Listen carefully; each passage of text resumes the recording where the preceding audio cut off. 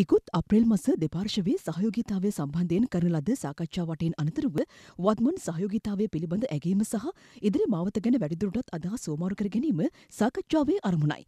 බහුපාර්ශවික සහ ද්විපාර්ශවික සංවර්ධන හවුල්කරුවන් ඉකුත් අප්‍රේල් මස වොෂින්ටන්හි පැවති ජාත්‍යන්තර මූල්‍ය අරමුදලේ සැසිවාරයට සහභාගී වුණා. එහිදී ඉන්දිය මුදල් අමාත්‍යවරිය එම රැස්වීම්වලට සමගාමීව ශ්‍රී ලංකාව සම්බන්ධයෙන් කරුණු ඉදිරිපත් කිරීම මහකුමසාරිස් මිලින්ද මොරගඩ මහතා මෙහිදී විශේෂ ඇගීමට ලක් කරා.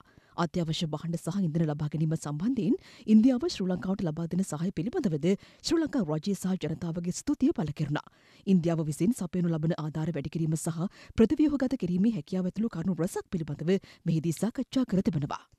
ඉන්දිය රජය පරිත්‍යාග කළ වෛද්‍යපකරණ තුගයක් අමාත්‍ය කේලි රමුක්වැල්ල මහතා වෙත ඊයේ බාරදිනු ලැබුවා. ඒ වැඩ බලන ඉන්දිය මහකොමසාරිස් විනෝත් කේ ජේකබ් මහතා විසින් රුපියල් මිලියන 260ක සෞඛ්‍ය උපකරණ තුගයක් මීට ඇතුළත්. මානුෂ්‍ය ආධාරද්‍රව්‍ය කඩිනමින් බෙදාහැරීම සඳහා ඉන්දිය නාවික නෞකාවක් යොදවා තිබෙනවා. එය ටොන් පන්දහස් සයිසියක ගොඩබෑමි පහසුකම් වලින් සමන්විතයි.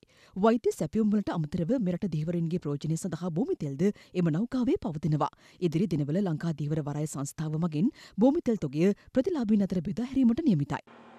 ඉන්දිය ආධාරයටතේ ලැබුණු වියලි ආහාර ද්‍රව්‍ය පාර්සල් තුගයක් වැලිමඩ ප්‍රාදේශීලේකම් කොට්ටාසේ වතුවාශ්‍රිත පවුල් වෙත අද බෙදාදනු ලැබුවා.